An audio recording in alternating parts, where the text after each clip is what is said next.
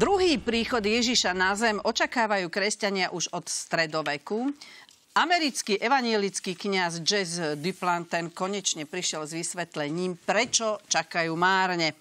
Môže za to podľa neho skutočnosť, že veriaci prispievajú finančne cirkvám málo. Citujem. Ľudia sú nie takí štedrí, ako to od nich Boh chce. Pokiaľ veriaci pochopia, čo od nich Boh vyžaduje, môže to príchod spasiteľa urýchliť.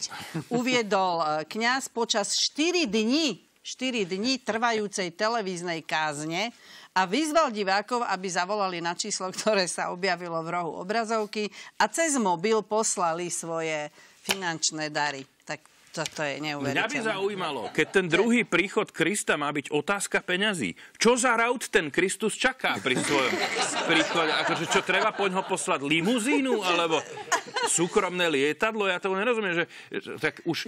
A potom, kde je? Hej, keď to stojí veľa peňazí, no. aby po ňo niekto prišiel, no. kde je? Že na mesiaci na Marse, však na Mars už poslal no. Elon Musk jedno auto, nebolo lacné a Kristus ešte nikde. No. Počúvajte, podľa mňa, podľa mňa, on už asi nedojde.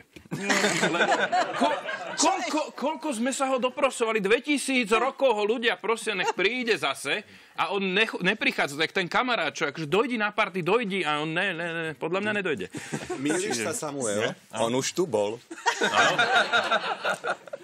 Neviem, či si spomínaš, bolo to dávnejšie, pre mno, e, pár rokmi, keď celý svet e, sužovali také tie hurikány Ameriku a, a 8 miliónov ľudí v Etiópii e, bolo, umieralo od smedu, také suchá bolo, ale Ježiš sa objavil v Batizovciach na Sporáku. Lebo tam ho najviac potrebujeme čo, to bolo len teraz, pohľadnica, vieš, to bola mms Teraz ste si pohoršili chlapci túto u tejto no. kresťanky Nie, no, kresťania ani ne, neveria, že Ježiš príde druhýkrát, to je blbosť, to si niekto vymyslel. Veria, že zostúpi Duch Svety. V jednom kostole sa stalo, že e, na nešťastie organista si e, prihol, no, sedel za orgánom, vypil si. A taký je zvyk, alebo teda tradícia, že e, pán farár zaspieva niečo a organista odpoveda.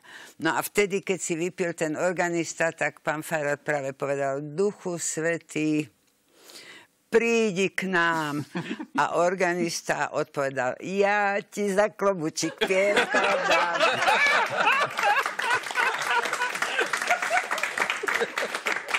No, tak toto nám pomôže všetkým, tuším. Toto. Ale nie, ja chcem povedať, možno ja by som len apeloval na ľudí, že ak už chceme, aby prišiel, tak aj robme preto niečo, lebo viete, že mnohí teraz nosia tie reťazky s tými krížikmi. Len si zoberte, jak sa ten Kristus bude cítiť, keď on príde a prvé, čo uvidí, uvidí ten mučiaci nástroj, na ktorom sme ho poslali z tohto sveta preč. No. Že to musí byť niečo hrozné. Si predstavte, že by Jánošik mal druhýkrát prísť a my by sme nosili Šibenice. na neťazke, ak ten hák. Šibe, a, alebo niečo, vieš, že, no. že podľa mali by sme akože výsť trošku viac uh-huh. v ústretí tomu a nerobiť takéto veci, keď už chceme, aby sa tu cítil uh-huh. dobre, keď...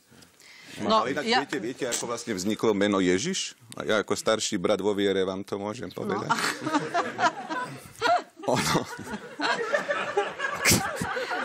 Čistý starší brat vo viere. No. Brat Michal, pokračuj. Svoje, svoje deti by som k nemu neposlal. Tak ty Lebo ono to bolo, keď, keď sa Ježiš narodil v tej maštali, tak tam prišli tí traja e, proroci a ten jeden z nich bol strašne vysoký. A on, ak vchádzal donútra od tej maštale, tak si buchol hlavu a zakričal, že Ježiš. A Mária hneď Jozefovi, vieš čo, zapíš to, to je lepšie ako hudák, to je lepšie ako hudák.